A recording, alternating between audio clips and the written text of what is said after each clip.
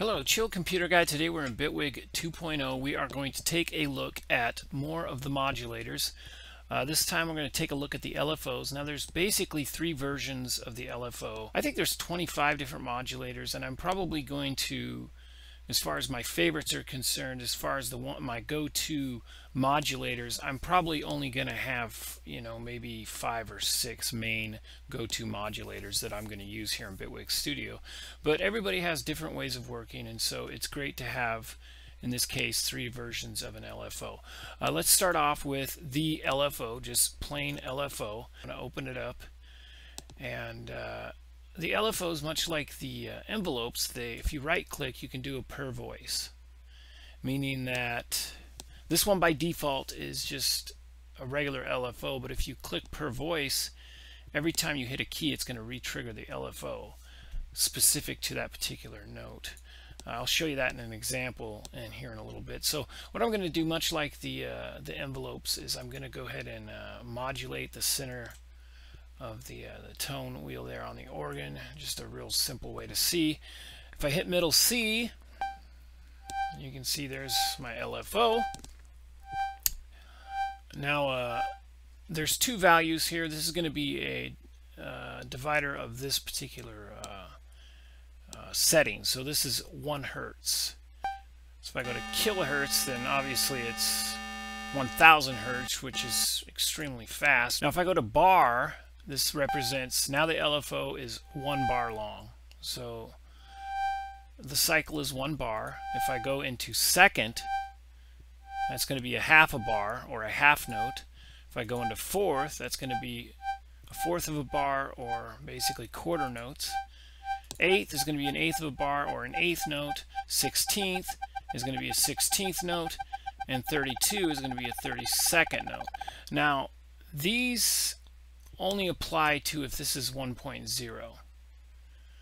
So let's go back to a bar here. So this is one bar. So it's going to be 1.0 of whatever this value is. So if I set this to 0.5, now the LFO cycle's two bars long. And if I set it to 2.0, now the LFO cycle is half a bar or a half note. And so that's that's the the way these numbers work in relation to whatever you have pulled down to. So using that you can create pretty much any speed you want with this LFO but basing it on uh, like kilohertz for example is extremely fast but if you slow that down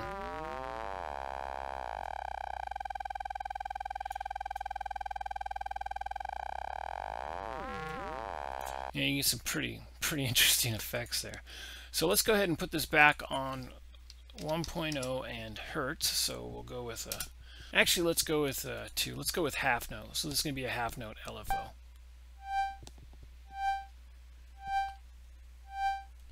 Okay, now below that we're going to have, these are basically saw waves, but they're, uh, this is a saw wave here and then a reverse saw wave. So if you take a look over here, you can kind of see what's going on with that as I turn it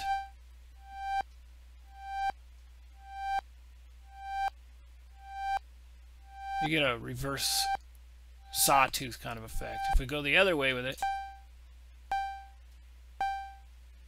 we have kind of a drop-off effect. And so you can go anywhere in between there. If you double-click, it's going to return it to the default. And then here, more of a sine wave and if you go the other way, this is kind of a pointed sine wave. And then uh, over here, this is going to be a delay. So if you turn this up,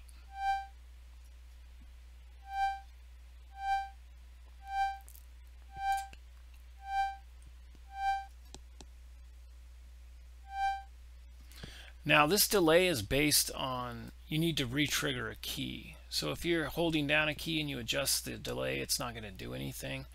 So what you basically need to do is set the delay and then trigger a note. Now if you watch here in this display, you'll see that the white uh, dot represents where you're at in the cycle of the LFO. So as I hit down on a key, you'll see there's going to be a delay before it falls into that cycle. See that? The delay only happens when you trigger the LFO. There's no way to actually loop this delay, unfortunately. Um, I don't know if that's going to be something that will be added in the future. So if you turn this way up, you can get a better kind of sense if you watch the, uh, the dot again.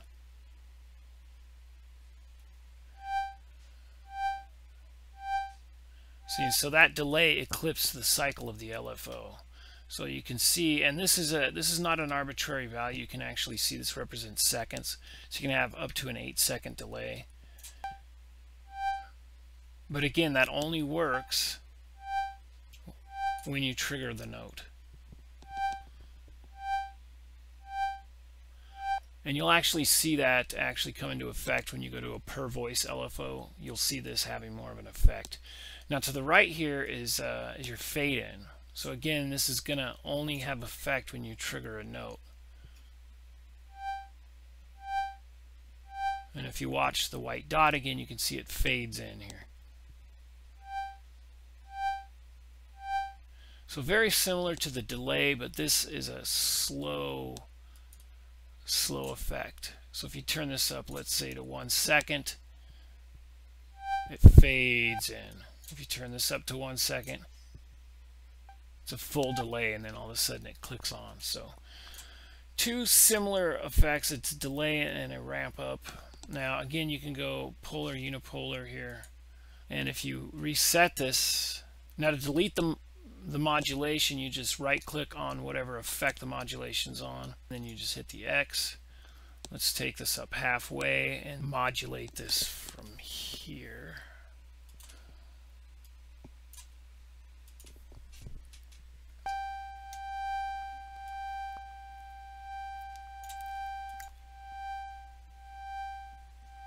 And so you can see now it's going into the negative.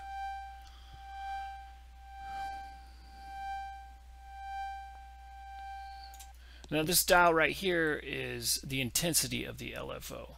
And you can see this again if you look at the white dot you can see that it's not really following that saw that uh, triangle very well. It's kind of drifting around a little bit. If I turn this up it's going to follow it exactly. As I turn this down, it's going to drift off that line.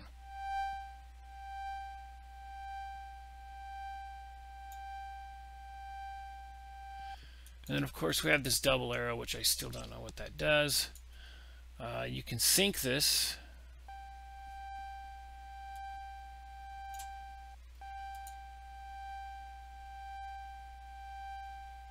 You have a phase control, a sync.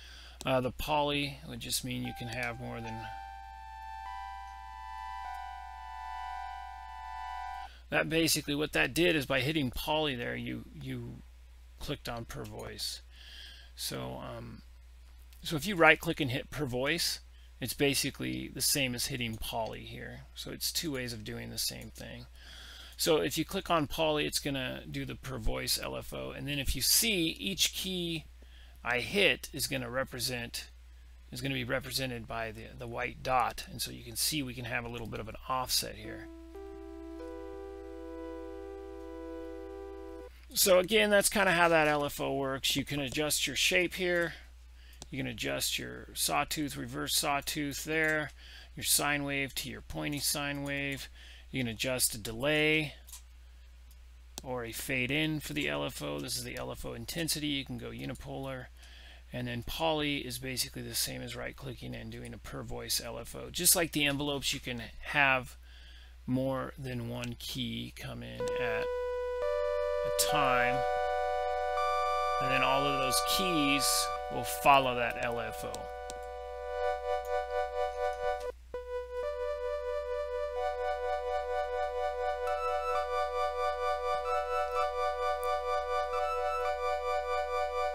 Which in my opinion is a, a really kind of a really cool way to put a different swing on the, the LFO.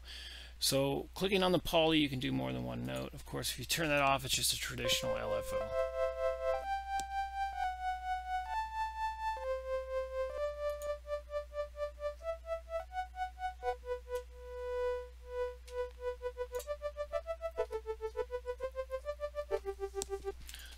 Hurdy-gurdy man type of thing. Next up we have the classic LFO. Now this is the LFO that is going to be closest to the LFO you're used to from the original Bitwig Studio. If we open this up here, you'll see that we have our free, which we can set the, uh, the hertz. We have our beats, quarter notes, 32 to 1, all the way up to 164th note. Um, and then we have our dotted notes and then our triplets. And then we have all of our waveforms here. We have the sine wave, the square wave, the uh, sawtooth, the triangle, the reverse sawtooth, random, a couple of random waveforms here. Uh, we have the amount, the intensity of the LFO, the phase of the LFO, and then uh, bipolar um, on and off, note trigger, and per voice. So these are two very handy things. Now this per voice is going to be the exact same as if you right click and hit it here. It's just uh, basically a shortcut. If You click per voice, it's the same exact thing. And uh, this LFO is probably the one I would find myself using the most just because it's the most, uh, it just has the most options for just basic LFO. This is probably what I would use for just classic LFO type things. Now I'm going to go ahead and modulate that uh, center tone wheel of the organ. Get that going. And again, not not much going on here. It's just an LFO, you know, uh, nothing too fancy.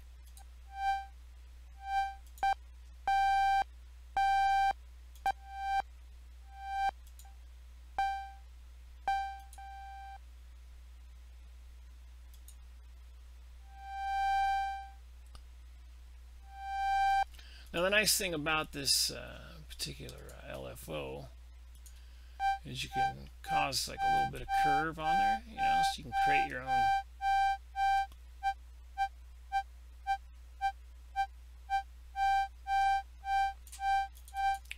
double click to reset it and then of course it's uh, bipolar. So if you just want to go positive just positive this is going to be positive and negative. In other words if I uh, I get rid of that modulation. And then I uh, modulate from here to here. You can see because we're unipolar we're going into negative values as well. So that's our base so we're going positive and negative. negative and the phase is just where the LFO starts and where it ends and then the amount is the intensity of the LFO. Now note trigger means it will reset the LFO every time I hit a key. It's easier to see this if we slow it down. Let's go to a bar. So every time I hit a key, it's going to start at the beginning of the LFO. As opposed to, if that's not if the note trigger is not on, then it's just going to start the key.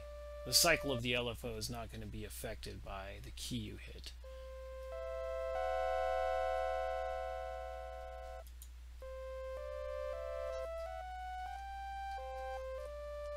Now the per voice, like I say, you can right click and get it here, is basically going to mean that every time you hit a key, it's going to reset the LFO and then it's going to play those keys in unison with the LFO.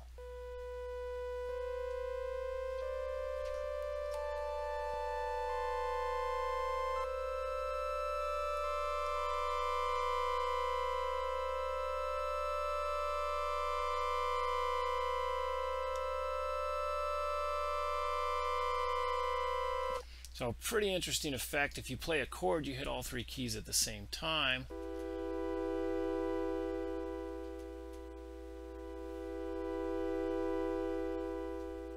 And so that's the uh, that's the classic LFO. Like I say, it's probably the most useful LFO just because it has everything you need. Uh, the per voice, the note trigger, the bipolar, the phasing, uh, the amount of the LFO, the uh, you know it has your your free, your your note, your uh, your dotted note, your your triplets, and then uh, all your LFO shapes, and then you can also do some fine adjusting to the curve as well. So that's the uh, classic LFO. Next up, we have the uh, beat LFO. Now, the beat LFO is an interesting one. I'm going to go ahead and modulate that center tone wheel again. Now, the beat LFO is basically an LFO with a shuffle, a rate.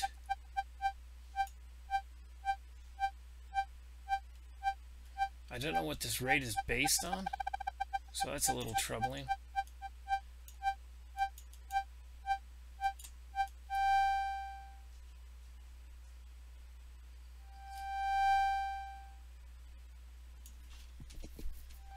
minus 3, so is that 3 bars?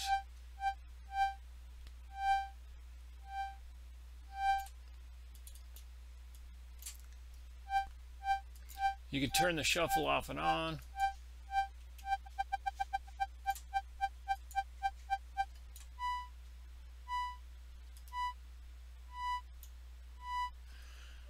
So as far as I can tell, this LFO is just basically uh, based on you have a shuffle, you have arbitrary note values, and then you have this uh, offset. And it's bipolar, of course, uh, and then you have a depth of the LFO. So it's it's basically a rhythmic LFO. I would use it to um, to modulate something in time with maybe uh, a bass line or a drum beat or something.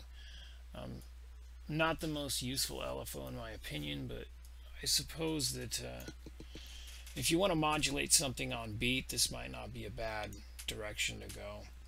Again, it feels uh, a little uh, kind of half done. Like you can apply a groove, but I'm not really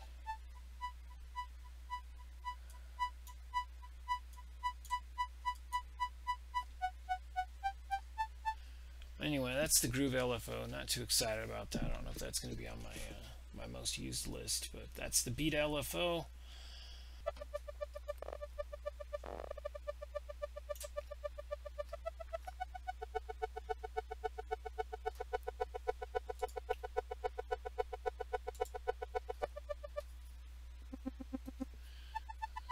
Single LFO. So this is a single LFO. There's no way to do per voice. It's just a single voice LFO. Anyway, so uh, that's it. The three LFOs here in Bitwig 2. Um, if you haven't already, please subscribe. I'm going to do some more modulators coming up, so uh, please subscribe so you don't miss out on those. And we'll see you guys next week. Thanks.